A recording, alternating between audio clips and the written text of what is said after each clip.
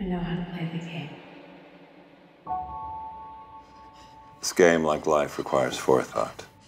So it's not about where you are, Please, I can't answer all your questions at once. it's where you will be in 10 moves or 10 years.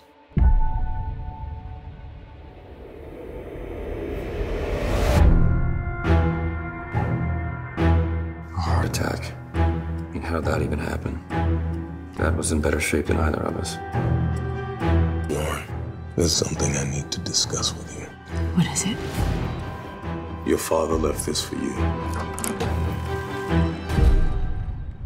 And you alone.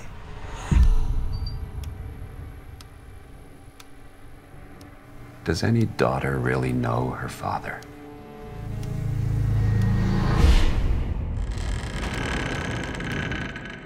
Show me your face. Lauren Elizabeth Monroe. You're not like him. I suspect you're better than he ever was. Who are you? I'd like to think I'm a member of the family. Are there any old enemies of Dad's that I should be aware of? We both know he was no saint.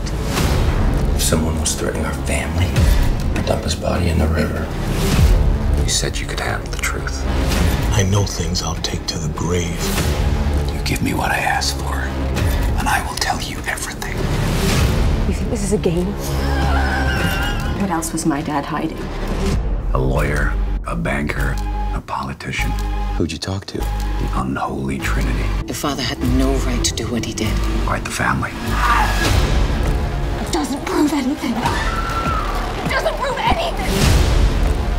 Is said and done, you will know the truth. And you will set me free.